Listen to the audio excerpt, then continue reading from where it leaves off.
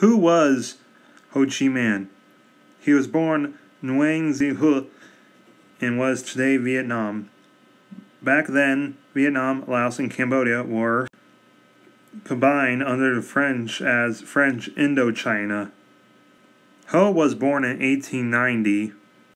His father was a Confucius scholar who could have joined the government, but he hated the French, probably because of colonial reasons, but I like to think it's because they all drink too much wine and they smell like snails and cigarettes.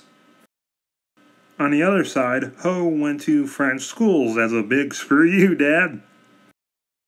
Just like most kids his age, he wanted to see the world. And also, he worked behind the kitchen. But on a boat, on his journey, he met President Woodrow Wilson. After World War I and the Treaty of Versailles, he tried to petition for an independent Vietnam.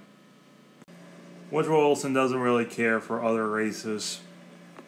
That didn't work, so he joined the French Communist Party to continue his sail.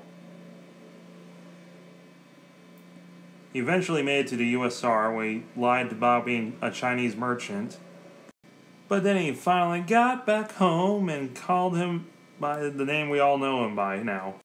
Ho joined the Viet Minh, which eventually led to the Indochina War against the colonial French. Which eventually led to the Vietnam War everybody knows about. Ho died in 1969 from heart failure. Seven years later, South Vietnam loses the war. Vietnam's reunited the South's former capital, Saigon, is renamed Ho Chi Minh City. Today, Ho is seen as the father of Vietnam.